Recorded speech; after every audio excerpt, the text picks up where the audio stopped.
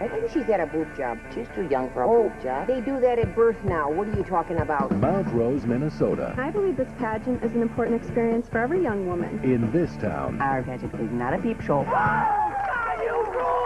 Oh, nothing is sacred. Suck it in, or so help me, I'll shove my foot so far. Now. Drop dead gorgeous. The real cop, Joe? Oh, the real cop. Rated PG 13. Starts Friday.